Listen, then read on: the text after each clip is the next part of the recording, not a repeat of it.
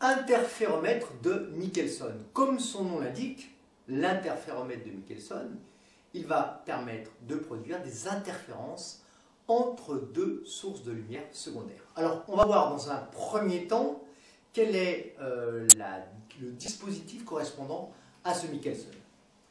Eh bien, dans un premier temps, nous avons donc une source primaire S étendue, et non pas ponctuelle, qui va produire une intensité lumineuse de valeur I0, qui va frapper une lame qu'on appelle la séparatrice, lame semi-réfléchissante, qui va transmettre 50% de l'intensité I0 et qui va en réfléchir également 50%.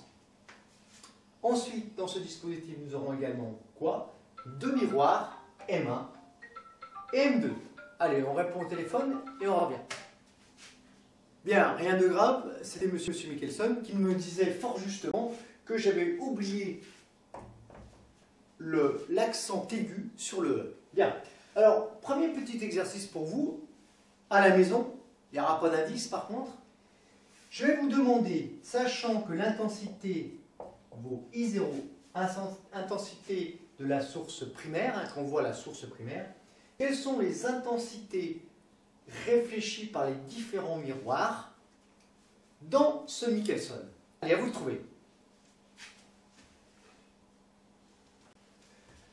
Première chose, ici, on va faire poursuivre ce rayon. Ce rayon est à 50% transmis et 50% réfléchi, c'est-à-dire que pour ce rayon, nous n'avons plus que I0 sur 2 en termes d'intensité. On va considérer que ces deux miroirs sont pas parfaits, c'est-à-dire qu'ils vont réfléchir la totalité du rayon lumineux. Donc on aura à nouveau ici un rayon lumineux d'intensité I0 sur 2. Par contre, attention, cette lame semi-réfléchissante va réfléchir à ce moment-là que 50% de l'intensité lumineuse incidente ici, donc ça nous donnera I0 sur 4. Et elle va laisser passer I0 sur 4, hein, un rayon d'intensité lumineuse I0 sur 4. Même chose ici pour ce deuxième rayon. Alors, Ici, nous avons un rayon qui va être réfléchi, donc avec une intensité I0 sur 2, puisque c'est une lame toujours semi-réfléchissante, cette séparatrice. Et euh, ici, le miroir étant parfait, l'intensité lumineuse réfléchie va être également toujours de I0 sur 2. Par contre, à réveilleuse, plus que la moitié de I0 sur 2, c'est-à-dire I0 sur 4. Ces deux rayons lumineux vont interférer et on va essayer d'étudier, on va non seulement essayer mais réussir étudier les interférences à partir de ce dispositif. Un petit oubli ici, attention, ce rayon lumineux d'intensité I0 sur 2, il va être transmis I0 sur 4, mais il va être également réfléchi avec une intensité la moitié de I0 sur 2, c'est-à-dire I0 sur 4. Donc globalement, qu'est-ce qui se passe? Eh bien, l'intensité I0, il y en a la moitié qui est réfléchie et la moitié est transmise. Bien, résumons sur cette excellente animation de l'Université du Mans le cheminement des différents rayons. Donc la source primaire émet un premier rayon, qui va rencontrer la séparatrice. Ce rayon va être en partie ici réfléchi sur le miroir M2 et en partie transmis vers le miroir M1.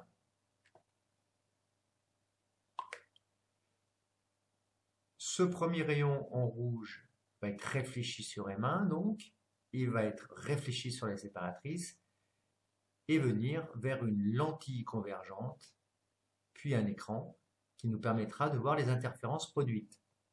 L'autre rayon, qui est réfléchi sur la séparatrice, frappe M2, traverse la séparatrice à nouveau et vient ici. Nous remarquons ici que lorsque ces deux miroirs M1 et M2 sont perpendiculaires à cet axe et à cet axe, eh bien nous allons voir une figure d'interférence particulière. On dit alors que l'interféromètre de Michelson est configuré en lame d'air. Nous verrons plus tard ce que signifie cette configuration spéciale. À remarquer que le faisceau de lumière qui arrive ici est un faisceau de lumière parallèle, donc les interférences se produiraient à l'infini. Cette lentille convergente va nous permettre d'obtenir la figure d'interférence dans le plan focal image de cette lentille. Quelle est l'allure des franges d'interférence maintenant?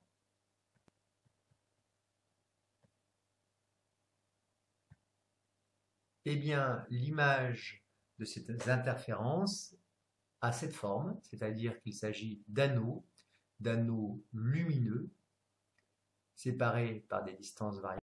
Nous voyons ici. À noter que nous pouvons obtenir des franges d'interférence que si la distance entre OM1 et OM2, ces deux distances-là sont différentes. Elles sont espacées d'une distance qu'on appelle la distance petit e.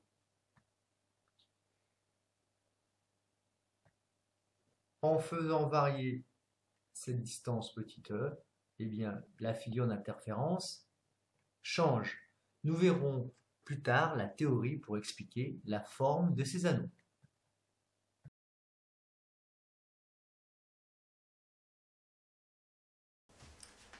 Interféromètre de Michelson configuré en lame d'air. Alors, qu'est-ce que ça veut dire? Ce titre un peu bizarre. Eh bien, de Michelson, nous l'avons vu précédemment, il y a une source primaire étendue d'intensité lumineuse I0, monochromatique de longueur d'onde lambda 0. Nous avons cette séparatrice qui est passée 50% de l'intensité lumineuse et qui en réfléchit 50%. C'est une lame semi-réfléchissante. En lame d'air, à ce moment-là, nous avons M1 et M2, M1 perpendiculaire à l'axe OX, M2 perpendiculaire à l'axe OY. Donc les deux, si vous voulez, hein, euh, forment un angle entre les deux, il y, a, il y a un angle de 90 degrés. Voilà ce qu'on appelle lame d'air. On va voir maintenant les différentes images de ce point S correspondant à la source primaire à travers ce dispositif. Pour bien comprendre la il faut faire un petit rappel de première année de PCSI, MPSI, etc. Première année de faculté. Donc, imaginons un point A, le bout de votre nez par exemple, et vous regardez ce point A à travers un miroir. Eh bien, qu'est-ce qui va se passer? Traçons deux rayons particuliers. Un perpendiculaire au miroir. L'angle d'incidence avec le miroir étant nul, son angle de réflexion, hein, vous le savez, est égal à l'angle d'incidence, c'est-à-dire 0. Donc, le rayon lumineux va se réfléchir comme ceci. Voici pour le premier rayon lumineux. Second rayon lumineux, Imaginons qu'on fasse ici un deuxième rayon lumineux avec un angle d'incidence petit i. Eh bien, il sera réfléchi avec un angle petit r tel que petit r égale petit i. Autrement dit, où se trouve l'image du point A dans ce miroir? Eh bien, c'est une image qui est dite virtuelle. Pourquoi? Les rayons ne partent pas vraiment de ce point A', hein, mais ils partent évidemment de la surface du miroir, et nous apercevons que A' est quoi? A' est le symétrique de A par rapport au miroir. Cette propriété, nous allons et l'utiliser évidemment pour ce système du Michelson configuré en lame d'air. Un premier exercice pour vous on va considérer un rayon lumineux partant de la source primaire, S, qui va être réfléchi ici par la lame semi-réfléchissante correspondant à la séparatrice. Et je vais vous demander où se trouve l'image de S par la séparatrice. Je vais l'appeler S'2. Et quelle, quelle va être l'image de S'2 par le miroir M2 que vous noterez SE2 À vous de trouver. Bien, on va commencer par S'2. Eh bien, nous avons vu précédemment, cette lame séparatrice étant un miroir, que l'image de S par ce miroir est son symétrique. Donc, il va se retrouver à combien de 3 unités ici? 1, 2, 3. Et voici S'2, image virtuelle de S par cette lame séparatrice. Alors, c'est très simple, hein. on imaginerait tout simplement que le rayon, on peut faire un deuxième rayon si vous voulez, hein. voici un deuxième rayon qui frappera après ici et qui reviendrait comme ceci. On voit bien que l'image de S par cette séparatrice est un S'2 symétrique de S par rapport à la lame. Deuxième chose, eh bien, voici S'2, image virtuelle qui va devenir un objet pour M2. Où se trouve son image? Eh bien, on l'a vu, hein, son image, c'est son symétrique par rapport au miroir M2. Donc, il y a, ici, on a 1, 2, 3, 4, 5, 6 unités. 1, 2, 3, 3, 4, 5, 6. Et voici SE2, qui constitue notre première source secondaire qui va interférer et va avec la seconde source secondaire que on va déterminer maintenant. Bien, pour bien enfoncer le clou, qu'est-ce qu'on va faire? Eh bien, on va dessiner, enfin vous allez le faire, vous allez dessiner ici qui arrive à ce rayon qui va se réfléchir au point M2 dans un premier temps. Allez, vous jouez. Très simple, l'angle d'incidence vaut 0 degré, c'est l'angle entre la perpendiculaire et le rayon incident, ça, ça fait bien 0 degré. Donc ce rayon-là va se réfléchir, semblant évidemment provenir de S2, et puis il va traverser ici la lame semi-réfléchissante, et voici le premier rayon qui semble issu de S2, source secondaire. On va faire un deuxième rayon maintenant, qui provient de S. Voici ce deuxième rayon. Et je vais vous demander un rayon quelconque, vous le faites sur votre schéma, hein, et vous me dessinez ce que va devenir ce rayon à travers deux réflexions successives, une première sur la séparatrice, une seconde sur M2.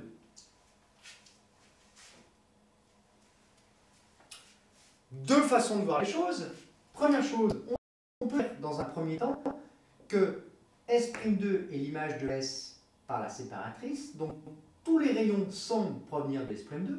Il suffit donc de prolonger un rayon qui viendrait de S'2.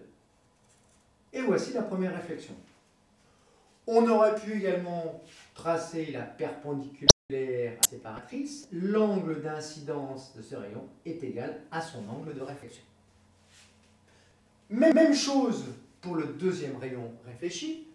Il semble provenir de S2, source secondaire.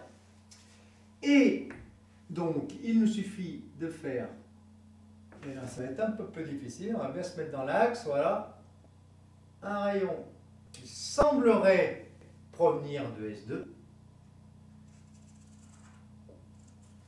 et qui va traverser la séparatrice.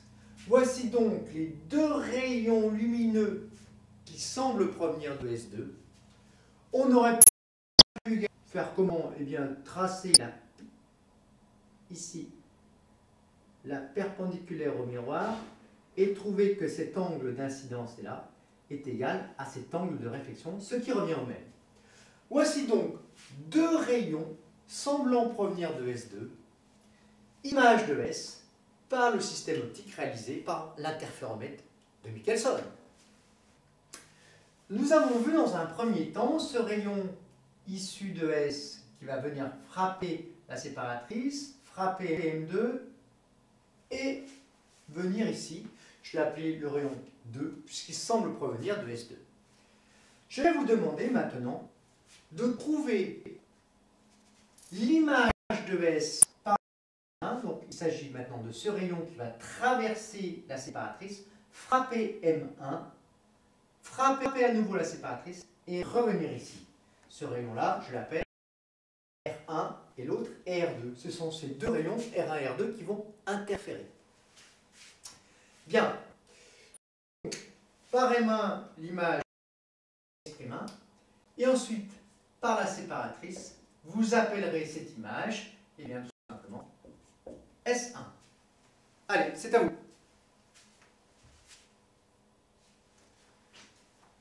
Première chose, nous avons vu qu'un rayon issu de S ici va se réfléchir, donc semble provenir de l'image de S qui est le symétrique de S par rapport à M1. Donc si j'ai 1, 2, 3, 4, 5, 6, 7 unités ici, 1, 2, 3, 4, 5, 6, 7, voici S'1, image de S par le miroir M1. Donc tous les rayons semble provenir de S'. Tiens, je peux en, tracer un là. Allez, hop, c'est cadeau.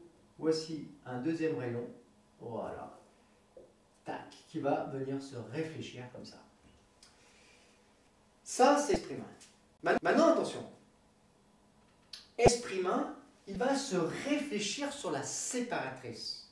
Comme il se réfléchit sur la séparatrice, eh bien, son image S1, ça va être le symétrique de S'1 par rapport à la séparatrice. La séparatrice, je la plonge artificiellement. Le symétrique de S', eh bien, il est à la même distance que ceci. Donc, il va falloir le redessiner par là. Simple, hein, pour dessiner son symétrique, c'est quoi? Eh bien, de mesurer le nombre d'unités qu'il y a entre le point de frappe du rayon, et puis S'1, ce qui nous fait 1, 2, 3, 4, 5, 6, 7, 8, 9, 10, 11 pour moi. Vous, vous pouvez évidemment, euh, la distance correspond à votre figure. Eh bien 11, on va démarrer ici. 1, 2, 3, 4, 5, 6, 9, 10, 11. Et voici S1. Donc, tous les rayons semblent provenir de S1 et tous les rayons semblent provenir de SE2. Ce sont tous ces rayons-là qui vont interférer et nous donner de très belles figures d'interférence que nous allons étudier ultérieurement. Alors évidemment, il faut faire une petite construction graphique pour vraiment à nouveau se fixer les idées. Voilà ce que je vous demande. Imaginons un autre rayon que celui-ci, quelconque, vous prenez un petit angle θ et je vais vous demander de me dessiner le cheminement de ce rayon lumineux s'il traverse évidemment la séparatrice, qu'il frappe M1 et qu'il frappe à nouveau la séparatrice, qu'il se réfléchit sur la séparatrice et qu'il vienne participer à la figure d'interférence. À vous de jouer, c'est pas si facile. Première chose, ce rayon lumineux, eh bien, traverser la séparatrice et il va venir frapper le miroir. Comment va-t-il se réfléchir? Eh bien, il semble provenir de S'. Donc il suffit de prolonger le rayon provenant de S'. Avec une règle, ce sera encore mieux. Et voilà. Oups là, rayon lumineux tordu, ça n'existe pas. Voici ce rayon qui va se réfléchir. Alors évidemment, on aurait pu mieux le dessiner, mais ça reviendra au même, en disant que cet angle d'incidence ici va être égal à cet angle de réflexion. Deuxième chose, eh bien, ici, ce rayon lumineux, il semble provenir de quoi? De S1. Donc, il suffirait que je fasse, ça va être encore plus chaud, mais vous, avec votre règle, il n'y aura pas de problème. Vous faites un rayon lumineux qui semble provenir de S1. Et voilà, ce rayon lumineux. Même chose que tout à l'heure, évidemment, l'angle d'incidence ici va se retrouver égal à l'angle de réflexion. Voici un autre rayon lumineux qui semble provenir de S1. Dans la suite de ces exercices sur Michelson, nous ne présenterons jamais le miroir M1 ici dans cette position, mais nous allons dire sont symétriques par rapport à la lame séparatrice. Donc, par exemple, j'ai mis ici 4 unités de longueur, sont symétriques, eh bien, ils seraient ici. Et je l'appellerai non plus M1, mais M'1, qui serait l'image de M1 par la séparatrice. Bien. Qu'est-ce qu'on va faire ensuite comme simplification? Eh bien, on va dire tout simplement que ce n'est plus le rayon 2 ici qui frappe la séparatrice, qui frappe le miroir M2 qui revient, et ce rayon qui va traverser la séparatrice, qui tape M1, qui se réfléchit ici, qui vont, être, qui vont interférer. Mais quoi? Eh bien, tout simplement, ce seront deux rayons R1 et 2. Le premier R2, ben, ce sera exactement le même qui est dessiné ici en bleu. Mais le second, eh bien, il va se réfléchir sur le miroir M'1 symétrique de M1 par la séparatrice. Je vous laisse faire votre schéma et je vais vous demander quoi? Eh bien, je vais vous demander d'abord où se trouve dans un premier temps par cette séparatrice l'image de S que je vais noter, S', et qui va donner par le miroir M2 S2. Et de la même façon, S par cette séparatrice va vous donner S', qui va donner par le miroir M1, S1. Vous me faites cette construction et vous verrez on retrouve à nouveau deux sources secondaires exactement à la même position, S1 et S2. Bien, occupons-nous euh, d'abord de, ce point S avec son image S' et qui par M1 donne S1. Bon, bon, S par la séparatrice, son image va être S' symétrique de S par rapport à cette lame. Donc là j'ai 1, 2, 3, 1, 2, 3, et voici S'. On retrouve bien que cette distance-là est la même que celle-ci. Maintenant, S' va donner par M1 S1. Il nous suffit de savoir alors par M'1, pardon, hein, puisque c'est M'1 et l'image de M1, par cette séparatrice. Donc, S' va nous donner donc par M'1 une image qui va être son symétrique, donc 1, 2, 3, 4, 5, 6, 7, et on reprend cette, cette unité, donc 1, 2, 3, 4, 5, 6, et on à la même position que tout à l'heure. Merveilleux. Bien. Euh, deuxième, deuxième rayon lumineux. Quand ça part de S, ça donne S', c'est toujours la même chose hein, par la séparatrice. Et maintenant, M2, eh bien, ce sera quoi? Par M2, S' va nous donner S2, S2 qui est son symétrique par rapport à M2. 1, 2, 3, 4, 5, 6. Euh, 6, pardon. 6 unités. 1, 2, 3, 4, 5, 6. Et on retrouve S2 dans la même position. Donc finalement, que je place, que je mette M1 ici, ou que j'étudie son symétrique par rapport à la séparatrice, on retrouvera la même chose, interférence entre deux sources S1 et S2. À noter que si j'appelle cette distance entre ces deux miroirs petit e, je retrouverai une distance entre S1 et S2 qui est égale à 2 fois petit e. Pourquoi maintenant appelle-t-on ce Michelson configuré en lame d'air? Eh bien, c'est comme si je faisais interférer deux rayons, enfin lumineux qui se réfléchissent en M2, un qui se réfléchisse en M2 et un qui se réfléchisse en M'1. Miroir fictif évidemment, image de M1 par cette séparatrice. Ici, on se reçoit des miroirs. Si ce dispositif est placé, cas, eh bien, on aurait une lame d'air hein, d'épaisseur petite. Voici pourquoi on appelle ça l'interféromètre de Michelson configuré en lame d'air. Alors, dernière chose, hein, un petit exercice de construction géométrique qu'il faut absolument savoir faire. Eh bien, dessinez-moi un rayon issu de S qui se réfléchit en M2 et puis issu de S qui se réfléchirait sur M'1. Eh bien, un, premier rayon, alors celui qui réfléchit sur la séparatrice va frapper M2, va revenir, va traverser la lame semi-réfléchissante, et voici ici son chemin.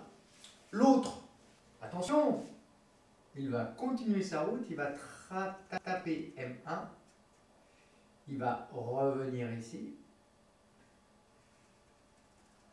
et puis il va revenir ici. Voilà. Alors, une petite remarque, évidemment, en fait, si on dit qu'il viendrait de M'1, hein, eh bien, il faut faire un petit trait, puisque ce rayon-là semblerait provenir, quoi? Eh bien, de S1. D'accord? Donc, tout ce rayon-là, qui vient, qui frappe M'1, eh bien, il est en pointillé. À noter que ce rayon parcourait, tout est dans le conditionnel, on est d'accord, hein, parcourait exactement la même distance de ce point ici à celui-ci, que la distance entre ce point et ce point, évidemment. Bien, résumons ici sur cette excellente animation de l'Université du Mans, le cheminement des différents rayons. Donc la source primaire émet un premier rayon va rencontrer la séparatrice. Ce rayon va être en partie ici réfléchi sur le miroir M2, en partie transmis vers le miroir M1.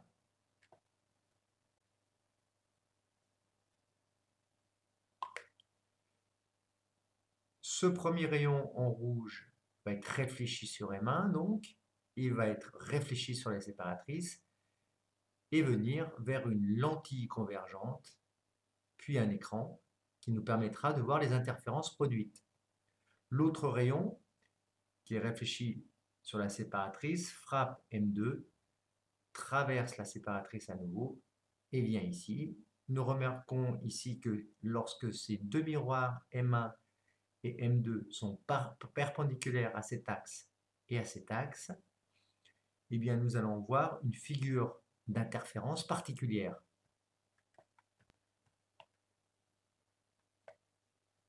à remarquer que le faisceau de lumière qui arrive ici est un faisceau de lumière parallèle, donc les interférences se produiraient à l'infini. Cette lentille convergente va nous permettre d'obtenir la figure d'interférence dans le plan focal image de cette lentille. Quelle est l'allure des franges d'interférence maintenant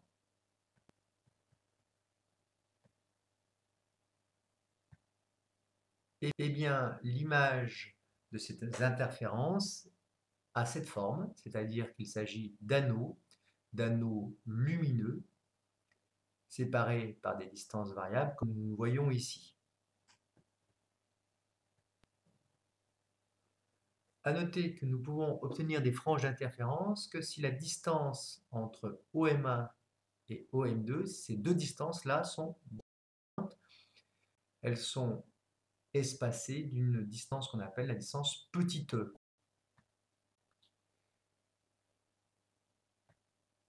En faisant varier cette distance petit e, eh bien, la figure d'interférence change. Nous verrons plus tard la théorie pour expliquer la forme de ces anneaux.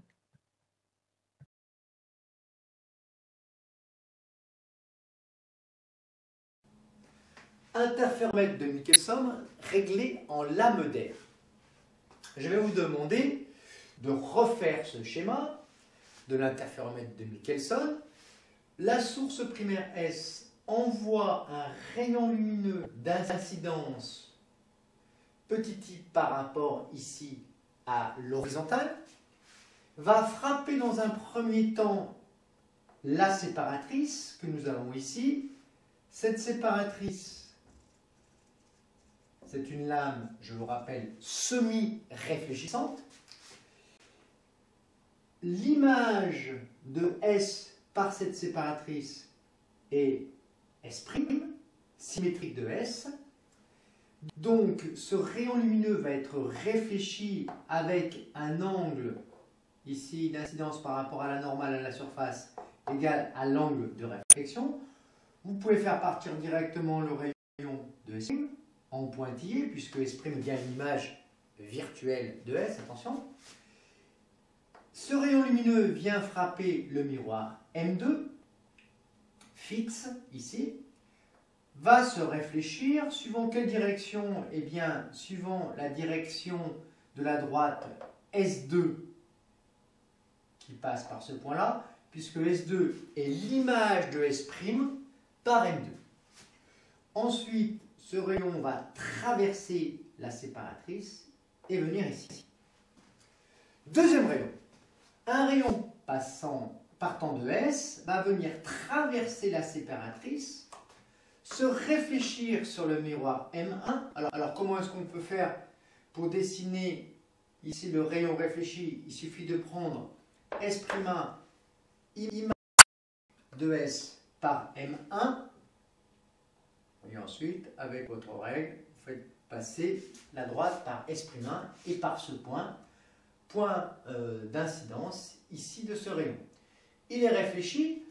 Ensuite, eh bien, nous avons vu précédemment que ce rayon-là est réfléchi évidemment avec le même angle d'incidence que l'angle de réflexion ici, va venir, ce rayon va venir ici, je l'appelle 1, pourquoi? Parce que c'est le rayon qui est réfléchi par le miroir M1.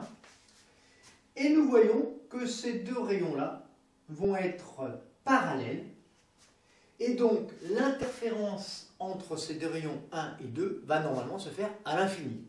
Bon, on ne va pas reculer évidemment l'écran à l'infini. Qu'est-ce qu'on fait? On utilise l'astuce du jour, c'est-à-dire prendre une lentille convergente.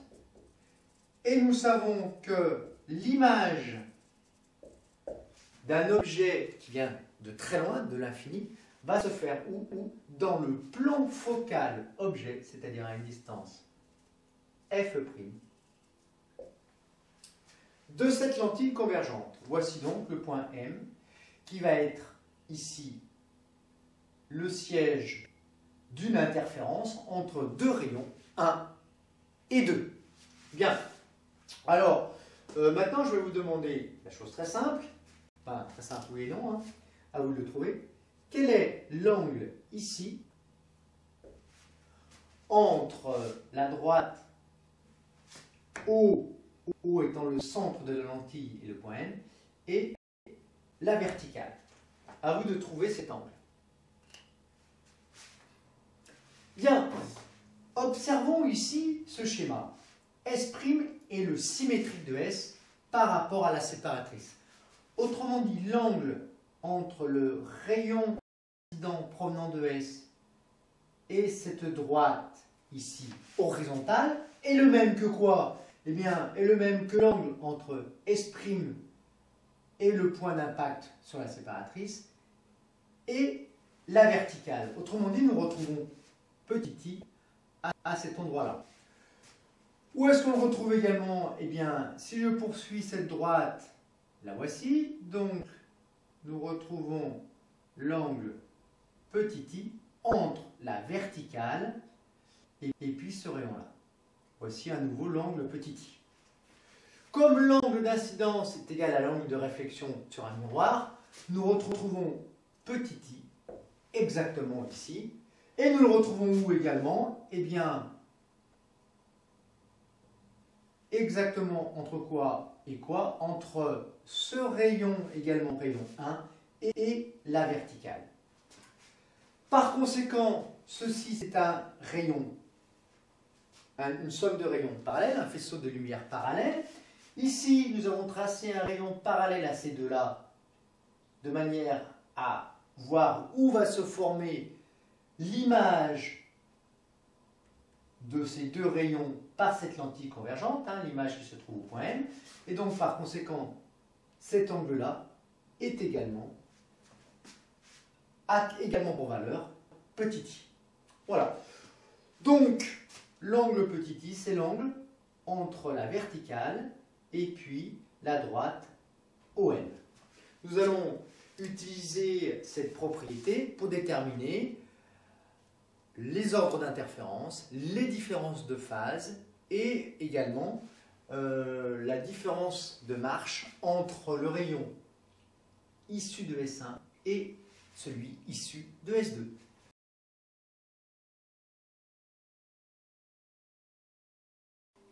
Nous avons démontré précédemment donc que l'angle petit i entre le rayon incident provenant de S et l'horizontale se trouvait entre la droite OM, O étant le centre de la lentille convergente, et la verticale.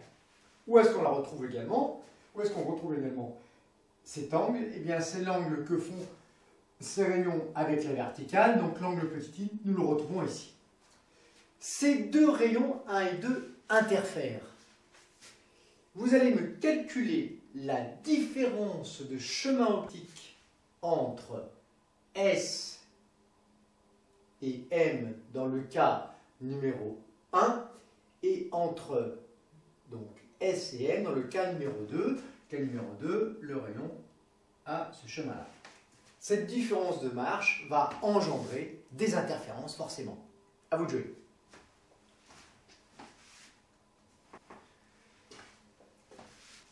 On va considérer, pour simplifier le problème, que euh, les deux rayons frappant une fois, deux fois des miroirs, dans les deux cas, une fois, deux fois, eh bien, les différences de chemin optique engendrées par cette réflexion est la même pour le rayon 1 et le rayon 2.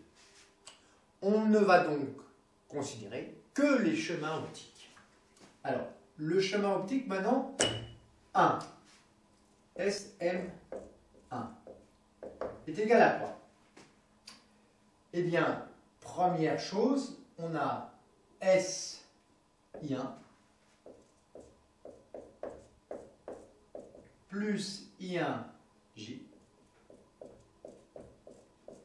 plus JM. Voici pour ce chemin. Que vaut SI1 Eh bien, tout de suite, on peut voir que SI1 est égal à quoi? Eh bien, de fait, du fait de la symétrie du problème par rapport à la séparatrice, nous avons SI1 qui est égal à quoi? Qui est égal à SI'. SI'.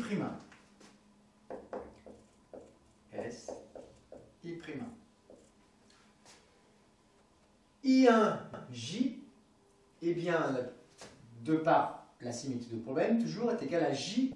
J, I'. EJM.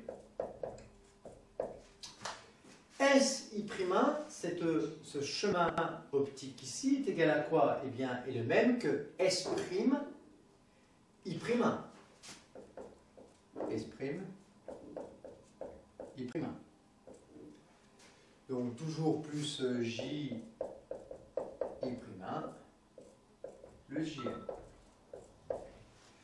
S', I', c'est la même chose que S1, I', puisque S1 est le symétrique de S' par rapport au miroir fictif M'.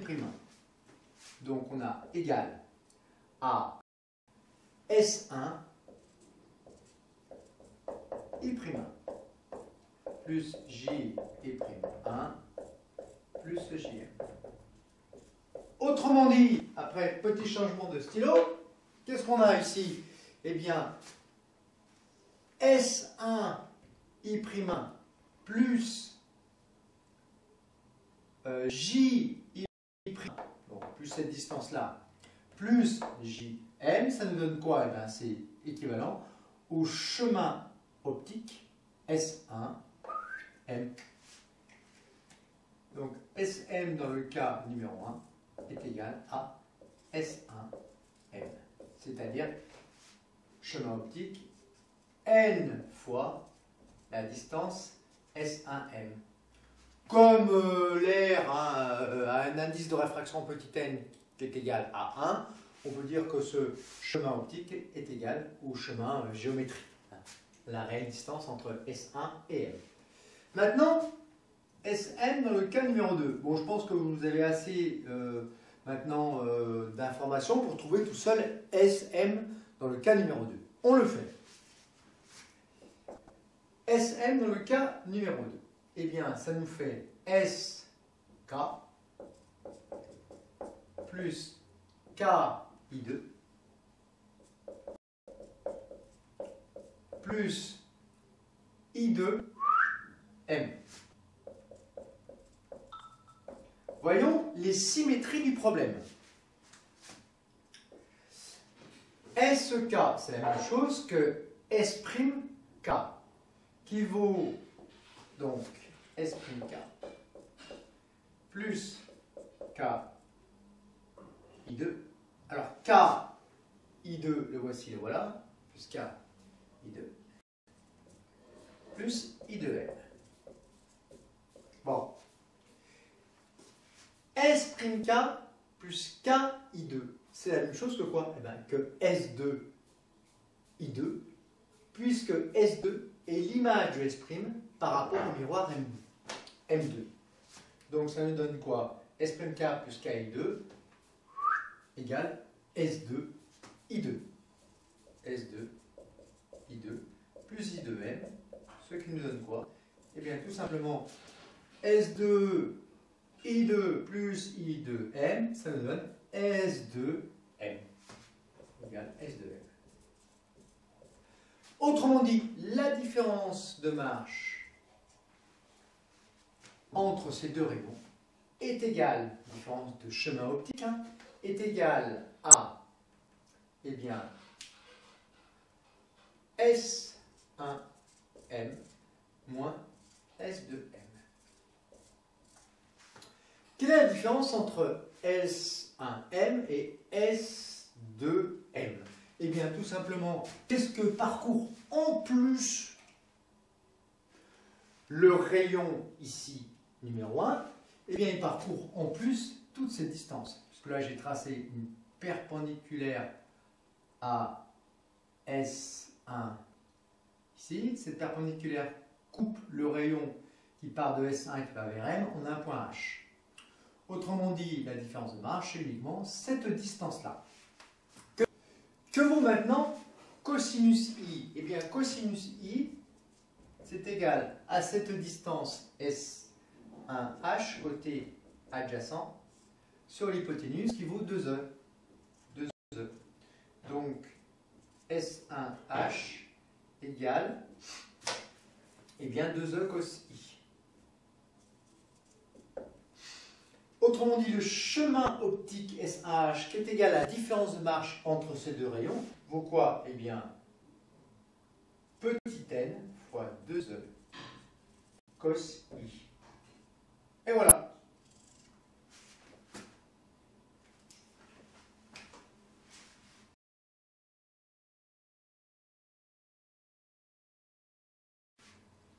Nous venons de voir que la différence de marche entre ces deux rayons valait 2NE cosinus. Que vaut maintenant la différence de phase entre ces, deux, rayons, l'ordre d'interférence et l'intensité vibratoire au point M À vous de. Commençons par la différence de phase delta phi m. Elle est égale à 2pi la différence de marche au point M divisé par lambda 0, voire les leçons précédentes.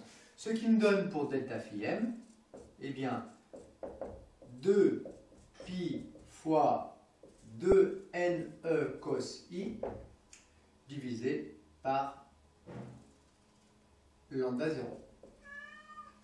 Ce qui nous donne pour la différence de phase donc 4 pi n e cos i sur lambda 0. Tu attends, petit minou, que j'ouvre la porte. Bien, voilà pour delta phi m.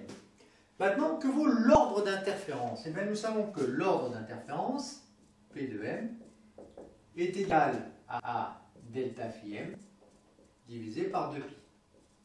Ce qui nous fait, pour l'ordre d'interférence, eh bien, tout simplement, cette expression divisée par 2pi, donc 4pi ne cos i sur 2pi lambda 0, ce qui nous donne, eh bien, tout simplement, 2ne cos i sur lambda 0. L'intensité lumineuse, eh bien, nous avons deux rayons lumineux qui interfèrent et nous avons vu dans les, ici dans les leçons précédentes que l'intensité au point M était égale à quoi? À deux fois l'intensité I, I étant l'intensité euh, de chaque rayon lumineux, facteur de 1 plus cos de delta phi m. Bien. 2i cos delta phi m étant ce qu'on appelle le terme d'interférence. Que vaut l'intensité petit i? On a vu précédemment qu'une lame semi-réfléchissante absorbait la moitié, rappelez-vous, la moitié de l'intensité lumineuse. Donc si en S, j'ai une intensité lumineuse I0, ici je n'aurai plus qu'I0 sur 2, je vais à nouveau traverser la lame semi-réfléchissante, donc à nouveau il y a I sur 2 ici qui va être à moitié absorbé, donc ici on aura I0 sur 4 et I0 sur 4. Voici pour les deux intensités lumineuses de ces deux rayons exprimées par rapport à l'intensité lumineuse de la source primaire. Je vais remplacer donc I par I0 sur 4, ce qui nous donne 2 fois I0 sur 4 facteur de 1 plus cos delta phi m. Ce qui nous donne donc I0 sur 2, facteur de 1 plus cos delta phi m, I0 étant l'intensité lumineuse produite par la source primaire. Et voilà.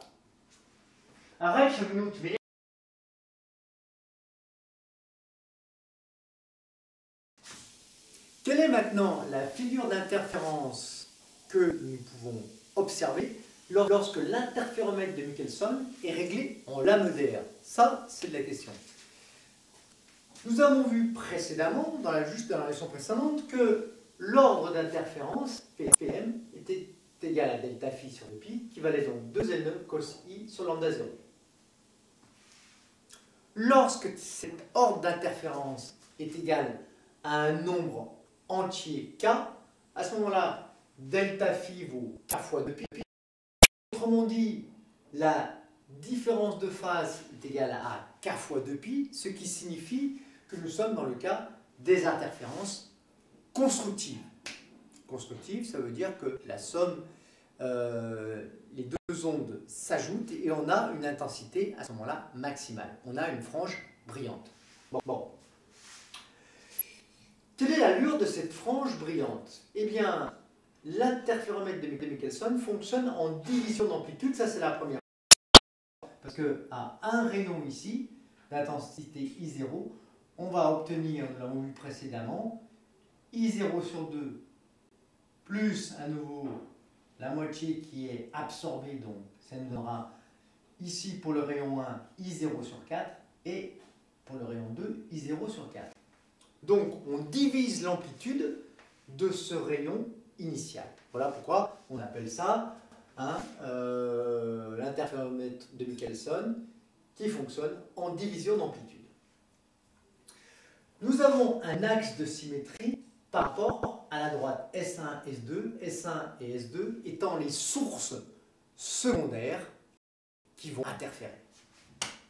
Autrement dit, tous les poèmes correspondant à un angle I identique vont donner ici la même frange d'interférence. Autrement dit, la frange d'interférence, elle sera comment? Eh bien, elle aura une forme d'anneau. Petit schéma ici, à cet anglien, donc à ce faisceau de lumière parallèle, ici, eh bien, va on va obtenir le point M1 qui est l'image de ces deux rayons qui viennent de l'infini, qui semblent provenir de l'infini. On aura donc une frange brillante dans quel cas? Eh bien, si PM est égal à K, K étant un entier. Et puis, pour un autre angle d'incidence I2, faisceau de lumière parallèle, on aura un point M2, point qui sera sur l'anneau brillant, juste après ce premier anneau brillant, et qui aura un autre référence, PM2 égale K-1. Alors, on verra après pourquoi K-1, mais en tout cas, il y a une différence d'ordre d'interférence, hein, PM, de 1 entre cet anneau-là et cet anneau-là. Voici pour la forme des franges d'interférence qu'on appelle ça, qu'on appelle franges d'interférence, qu'on appelle des, des anneaux. Et voilà. Eratom, Eratom, attention, il y a une petite erreur dans ce que je viens de vous dire. Euh, l'ordre d'interférence de ce point M1 correspondant à cet anneau-là, si cet ordre vaut K avec K entier, puisqu'on obtient une frange brillante, interférence constructive, à ce moment-là, le rayon, l'anneau juste après, aura un ordre d'interférence au point M2 qui vaut K-1. On va le voir après, hein. c'est dû à l'expression de l'ordre d'interférence. A tout à l'heure. Leçon suivante. Nous allons déterminer en plusieurs étapes quel est le rayon R1, R2, R indice K des différents anneaux de cet interféromètre de Michelson réglé en lame d'air. Donc, qui produit donc ces interférences en d'anneaux. Bien. Alors, dans un premier temps, on a vu que l'ordre d'interférence avait cette expression. Quelle est la valeur de Pmax dans un premier temps Que vaut que l'ordre d'interférence maximale au point M À vous de jouer. Eh bien, Pmax va prendre donc cette valeur maximum pour une valeur de cosinus i égale à quoi? Bah, Cosinus i égale à 1. Autrement dit, i égale à 0. Ce qui nous donnera alors à ce moment-là 2n E sur lambda 0. Il y a très peu de chances que Pmax soit un nombre entier. Donc ça veut dire simplement que pour i égale 0, eh on a très peu de chances d'avoir une tâche brillante. On aura sans doute une tâche sombre. Bon. Ce Pmax au point M, on va le séparer en deux morceaux, c'est-à-dire P0 plus epsilon P0 étant un nombre entier, et epsilon étant un nombre fractionnaire, hein, ou un nombre qui n'est pas entier, hein, qu'on appellera généralement euh, l'excédent fractionnaire. Bon, alors on va prendre tout de suite un exemple. Imaginons qu'on ait fait l'expérience ici avec une lumière euh, provenant d'une lampe à vapeur de sodium. Je vous donne les valeurs numériques que sont petit e égale 10 micromètres. Ensuite, euh, lambda 0, 595 nanomètres. Petit n égale 1 parce qu'on est dans l'air, hein, donc l'indice de réfraction de l'air vaut 1. on peut mettre même deux chiffres significatifs, en trois chiffres significatifs. 10,0 micromètres, 595 nanomètres, et n égale 1. Et je vais vous demander de déterminer la valeur de Pmax au point M.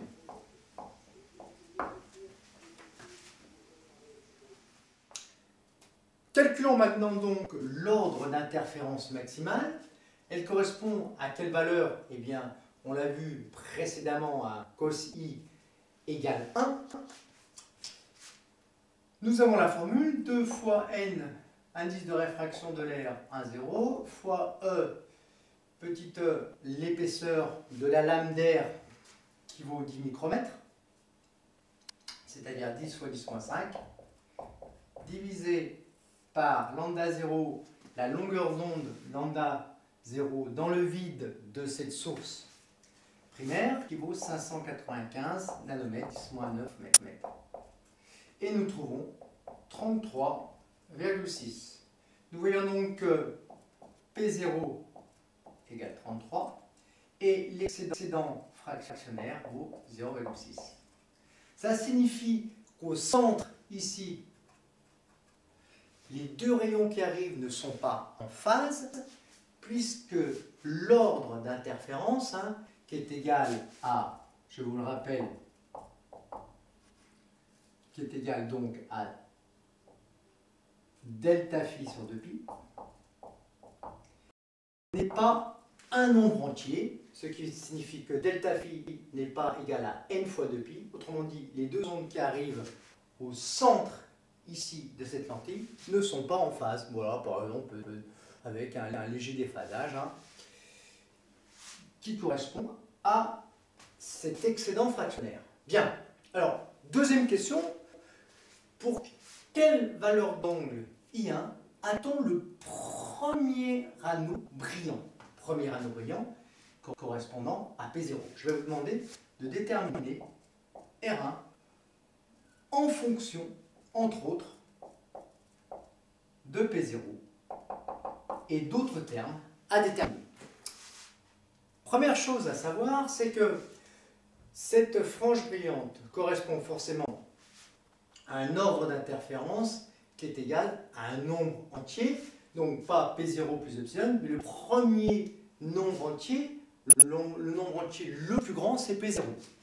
Donc, on aura à ce moment-là, pour cette première frange brillante de rayon R1, P de M égale P0 égale, on réécrit l'expression de l'ordre d'interférence dans le cas général, 2NE cosinus I1, parce qu'il s'agit du premier angle I1, 2NE cosinus I1 sur lambda 0. Deuxième chose, que vaut ce cosinus I1 Et que vaut cet angle I1 Eh bien, on se trouve dans ce pour que l'on se retrouve dans les conditions de Gauss, c'est-à-dire qu'on obtienne une image nette, il faut que l'angle I1, que font ces rayons avec l'axe optique, ne soit pas trop grand. À ce moment-là, on a tangente I, donc tangente I1 dans ce cas-là, peu différent de I1, égale à quoi? Eh bien, tangente, c'est côté opposé, c'est-à-dire cette distance qui est égale à quoi? Eh bien, bien tout simplement, c'est le rayon R1 de l'anneau. Donc, R1 divisé par donc, côté adjacent, mais qui est égal à la distance focale F', distance focale image, de la lentille. Bon, allez, euh, je vous ai mis un petit peu sur la voie, vous voulez pas continuer? Continuons. Donc, nous avons, deuxième chose, comme cet angle est petit, cosinus I1, son développement limité, c'était 1 moins I1 carré sur 2. Alors ça, vous ne le saviez peut-être pas, donc il faut euh, évidemment ne pas l'apprendre, on vous le donne généralement dans les exercices. Nous remplaçons donc le cosinus I1 par sa valeur, ce qui nous donne donc P0 fois lambda 0 sur 2 et 9 égale cosinus I1, c'est-à-dire 1 moins I1 au carré divisé par 2. Nous savons que I1 est égal à R1 sur F', donc ça nous donne 1 moins R1 carré divisé par 2F' ce qui nous donne donc, euh, on peut envoyer ça de l'autre côté, R1 carré sur 2F' carré égale 1 moins P0 lambda 0 P0 lambda 0 sur 2 et 9. Autrement dit, que vaut R1 carré? Eh bien, R1 carré égale 2f' carré facteur de 1 moins p0 lambda 0 sur 2 et 9. Autrement dit, R1 égale f' fois racine carrée de cet ensemble, 2 facteur de 1 P0 lambda 0 sur 2 n Voilà. Alors, comme toute formule un petit, peu compliquée comme celle-ci, il faut évidemment euh, vérifier les unités, ça vous le savez, c'est la règle d'or, et on va l'appliquer évidemment. Alors, euh, R1 c'est un rayon, qui est donc en mètres, F' c'est une distance focale qui est en mètres, P0 c'est delta phi sur 2pi, donc ça n'a pas d'unité, lambda 0 est en mètres, n l'indice de réfraction est sans unité, et E est en mètres. Donc à l'intérieur de la fraction, nous avons quoi? Mètres sur des mètres, un racine carrée, tout ça, qui est sans unité. Et on trouve bien une formule qui est homogène. Bien, nous avons trouvé le premier rayon R1. À vous de trouver le second rayon R2 correspondant à la deuxième frange d'interférence brillante. Or, cet exercice, c'est le plus simple, évidemment. On a déjà l'expression de R1, ici. Que vaut l'expression de R2 Eh bien, cette fois-ci, P0 ne vaut... On a l'ordre d'interférence qui ne vaut plus P0, hein, mais quoi? P0 moins 1. Hein, vous savez en effet que Pmax, c'est P0 plus l'excédent fractionnaire. Donc ça, c'est le P max, donc évidemment que tout est plus petit que P0 pour des franges d'interférence où euh, les ondes arrivent en phase. Par conséquent, F est égal à quoi? Eh bien, F', facteur de 2, 1 moins, cette fois-ci plus P0, mais P0 moins 1, il faut que l'ordre d'interférence soit toujours un nombre égal, hein, de façon à ce que fois 2pi, donc que les deux ondes arrivent en phase, toujours la même chose, multiplié par lambda 0 sur 2n. Si on voulait maintenant euh, la énième, énième, le énième anneau, quel serait son rayon R indice M Eh bien, pour le deuxième anneau, on a moins 1. Donc ça signifie pour le énième anneau que vaut son rayon F' facteur 2 facteur de 1 moins moins P0 moins M plus 1. Hein. Euh, on vérifie, hein, un sixième est égal à 2. 2 alors, moins 2 plus 1, bien moins 1, ça donne bien P0 moins 1, fois lambda 0 sur 2 et 9. Et voici pour le rayon correspondant à l'anneau de frange brillante d'indice petit m.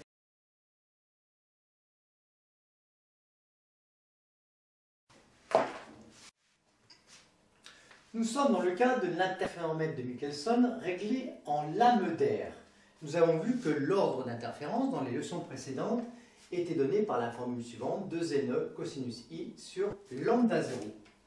Lambda 0 étant la longueur d'onde euh, de la radiation émise au point S, source primaire, petit n étant euh, l'indice de réfraction du milieu qui est l'air qui vaut 1, et petit e étant l'épaisseur de d'air, c'est-à-dire finalement euh, la différence entre la distance entre la séparatrice et le miroir M1 et la séparatrice et le miroir M2, distance que nous retrouvons ici. Voilà pour cette configuration dite à lame d'air. Bien. Alors, nous obtenons, nous avons vu précédemment, des rayons, des anneaux, hein, des anneaux correspondant à ces franges d'interférence, anneaux brillants, si quoi? Si P est un nombre multiple euh, un nombre entier, si l'ordre d'interférence est un nombre entier, c'est-à-dire si la différence de phase entre ces deux rayons est égale à k fois 2pi, autrement dit, si les deux ondes, elles arrivent comment? Au point M est bien en phase. À ce moment-là, on a une intensité maximum, donc une frange brillante. D'accord? Et je vais vous demander, si on diminue E, c'est-à-dire finalement, si on rapproche le miroir M1, donc on diminue cette lame d'air, comment vont varier les rayons de ces anneaux hmm, Ça, c'est la question.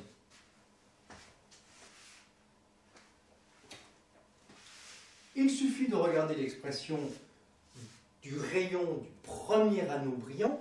Nous voyons bien que si petit e diminue, cette fraction va augmenter. Comme cette fraction augmente 1 moins cette fraction va faire quoi? Va diminuer. Et le rayon R1, il va faire quoi? Il va diminuer. Donc on va avoir un cercle concentrique qui va se rapprocher évidemment du centre euh, de cette lentille. Centre optique ici, un haut donc de ce point-là, centre de l'écran. Qu'est-ce qui se passe maintenant, à votre avis?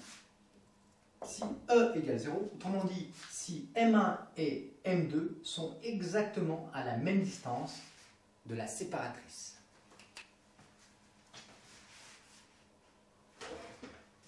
Vous l'aurez trouvé aisément. À ce moment-là, qu'est-ce qu'on a? Eh bien, on a tout simplement petit e égale 0. Autrement dit, quel que soit i, on a p de m qui est égal à 0. Autrement dit, si p de m est égal à 0, eh bien, delta phi est égal à 0. Donc, si delta phi est égal à 0, toutes les ondes qui arrivent en ce point de arrivent en phase. Autrement dit, tout est éclairé uniformément. On est dans une, une configuration qu'on appelle le contact optique. Et voilà. Revoyons dans un premier temps le tracé des rayons lorsque le Michelson est configuré en lame d'air. Nous voyons que l'image que nous observons sur cet écran provient d'un objet situé à l'infini. Nous allons observer maintenant l'allure des franges d'interférence qui ressemblent évidemment à des anneaux.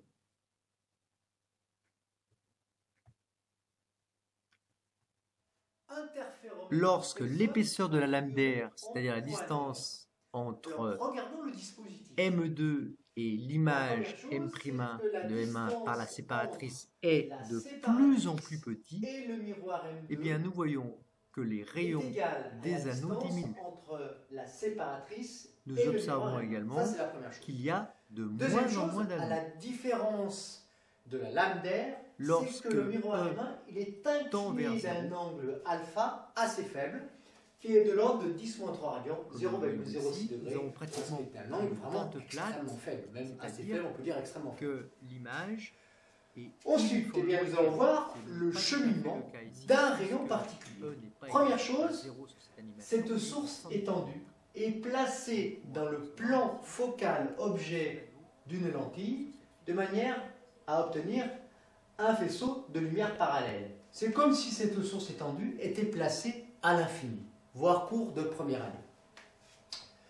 Nous allons nous intéresser à un rayon qui est parallèle ici à l'axe horizontal. Chemin numéro 2 dans un premier temps. Ce premier rayon va frapper la séparatrice au point A, se réfléchir, monter jusqu'au miroir ME2, c'est pour ça qu'on appelle chemin 2. Hein. Frapper le miroir ME2, on a un point J, redescendre traverser la séparatrice. Et ici, nous allons mettre une lentille convergente additionnelle qui va faire converger ce rayon en un point M' de l'écran. Deuxième chemin. Eh bien, le premier rayon traverse la séparatrice, va frapper M1 au point C, se réfléchir avec un angle d'incidence égal l'angle de réflexion, évidemment, va venir taper la séparatrice au point D, revenir ici, et converger au même point M'. M' est le conjugué d'un point M mystérieux. Lequel? Eh bien, regardons cette figure. Nous savons que M'1 est le symétrique de M1 par rapport à la séparatrice. Autrement dit, cette distance AC, ou ce chemin optique AC, est égale à la distance AM. De la même façon, la distance CD est égale à la distance MD. Tout se passe comme si un point M, lieu des interférences, allait envoyer deux rayons lumineux qui allaient interférer ou sur l'écran. Donc le point M est l'image et l'objet pour ce point M', ou si vous préférez, le point M' est l'image de cet objet M par cette lentille convergente. Nous allons donc observer sur cet écran en M' des interférences entre deux rayons lumineux, le rayon lumineux numéro 2 et le rayon lumineux numéro 1 qui fait ce chemin-là, ou ce qui revient même, ce chemin-là. Il ne reste maintenant plus qu'à expliquer ce qu'est un coin d'air. Et eh bien, qu'est-ce que c'est que le coin d'air? C'est tout simplement entre M'1, image de M1 par la séparatrice, et M2, nous voyons ici qu'il y a ce fameux coin d'air. Qu'est-ce qu'il vous reste à faire? C'est le plus difficile, à trouver la différence de chemin optique 1 entre SM1 et SM2 dans l'exercice suivant. On ne part pas tout de suite, hein, il y a juste une dernière chose. Théorème de Malus à revoir également. Eh bien, le chemin optique MM'2 et MM'1 est exactement le même, car M' est le conjugué de M par rapport à la lentille convergente, voire cours précédent. Nous revoyons maintenant ce Michelson configuré en d'air avec le miroir M1 et M2. Alors sur cette figure, ils ont euh, orienté euh, M2 d'un angle alpha, hein, ce qui est le contraire de mon cours, mais ça n'a pas d'importance, c'est exactement la même chose. Donc un rayon arrive, incident arrive sur la lame séparatrice SP avec une incidence petit i. Nous, on avait pris dans notre exemple petit i égale 0, mais ça revient au même. Hein, euh, pour n'importe quelle valeur de petit i, on a euh, le même type de tracé. Ensuite, qu'arrive-t-il à ce rayon? Eh bien, une partie rouge traverse la lame et se dirige vers M1, et l'autre est réfléchi et se dirige vers M2. Ensuite, eh bien, le rayon rouge est réfléchi par M1 puis par les séparatrices, et le rayon jaune, lui, est réfléchi par ici M2, puis traverse la séparatrice.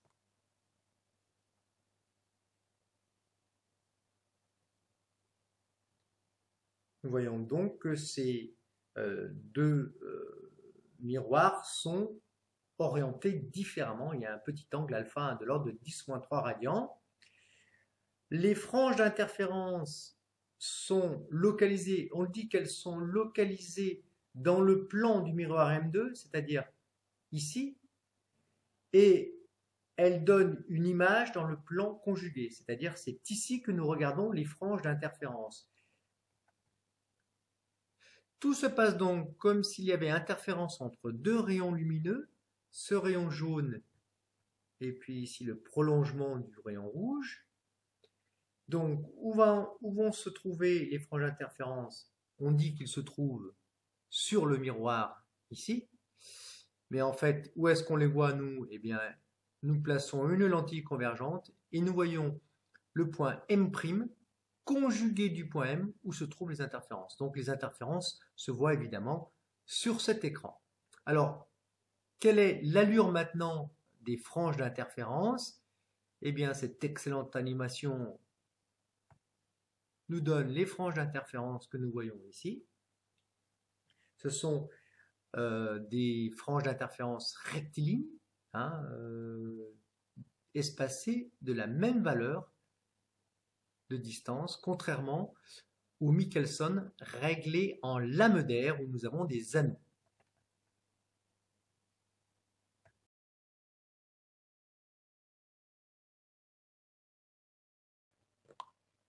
On rappelle rapidement à quoi correspond le Michelson qui est configuré en coin d'air. Un rayon incident arrive sur la lame séparatrice SP avec une incidence petit i. Une partie du rayon ici traverse la lame et se dirige vers M1. L'autre en jaune est réfléchi et se dirige vers M2.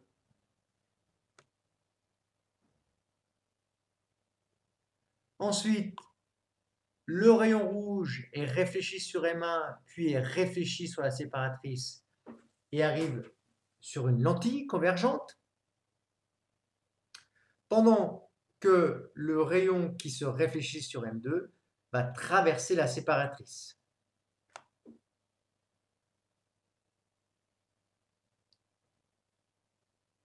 Ensuite, cette lentille convergente, elle va faire l'image d'un point qu'on va appeler M' par exemple, image du point M, source des interférences dans cette configuration en coin d'air. Les franges sont dites localisées dans le plan du miroir M2. En effet, l'interférence se fait de façon fictive entre ce rayon ici jaune est le prolongement du rayon rouge. Donc, les interférences, on va pouvoir les voir où? Eh bien, sur cet écran. Et elles semblent provenir de ce point M.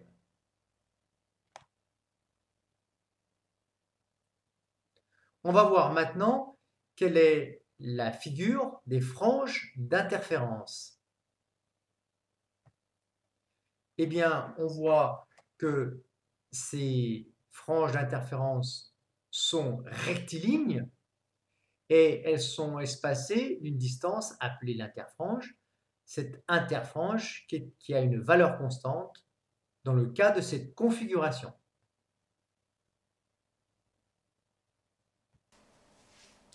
Je vais vous demander dans cet exercice de retrouver l'ordre d'interférence et l'interfrange lorsque, et en clash, hein, lorsque l'interféromètre est configuré en coin d'air.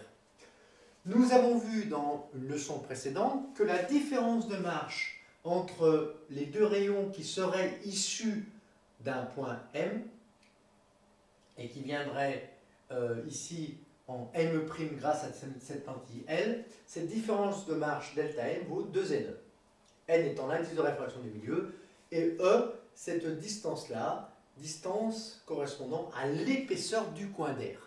Bon, je refais rapidement un petit schéma ici, et donc à vous de déterminer l'interfrange et l'ordre d'interférence.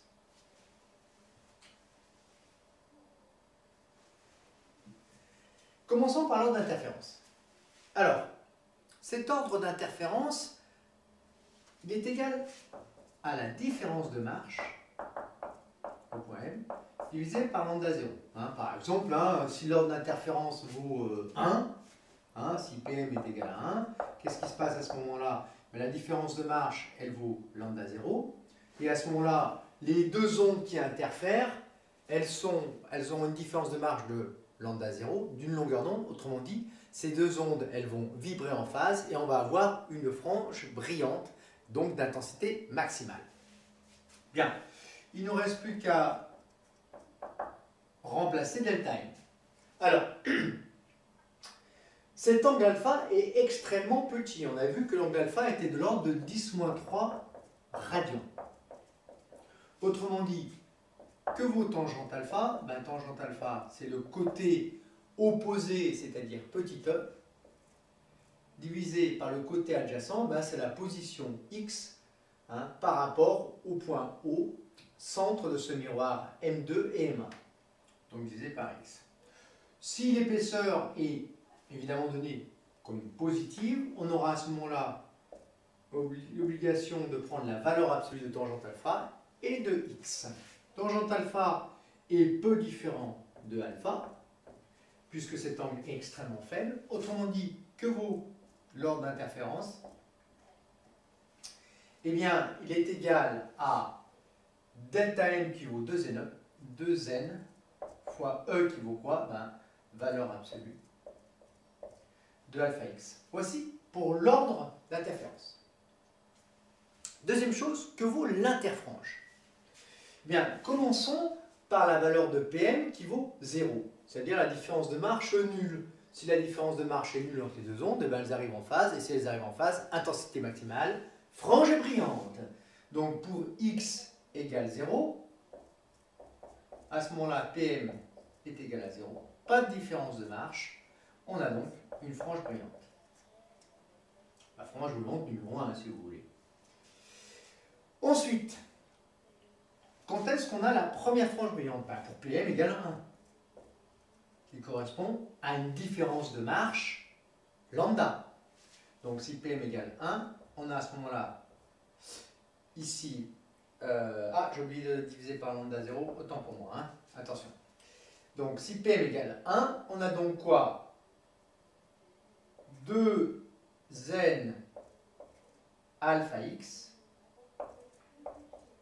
divisé par lambda 0 qui vaut 1. À ce moment-là, ben, que vaut x? Eh bien, x égale lambda 0 sur 2n fois alpha. Alors alpha en valeur absolue évidemment, je ne le mets plus, hein, mais alpha étant pris comme valeur positive évidemment. mais elle peut être aussi en valeur négative, allez, on met la valeur absolue. Donc que vaut cette valeur de x? Ben, X, c'est justement la distance entre la première frange brillante qui correspond à x égale 0 et cette deuxième frange brillante. Et quelle est la distance entre les deux? Eh bien, c'est l'interfrange.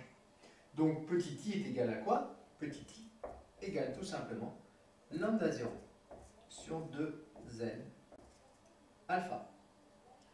Et voici pour la valeur de l'interfrange petit i, donc qui dépend que de lambda 0 longueur d'onde de la source primaire, et de l'angle alpha entre les deux miroirs ici, et évidemment de l'indice de réfraction généralement qui vaut n égale 1 puisqu'on est dans l'air. Voilà.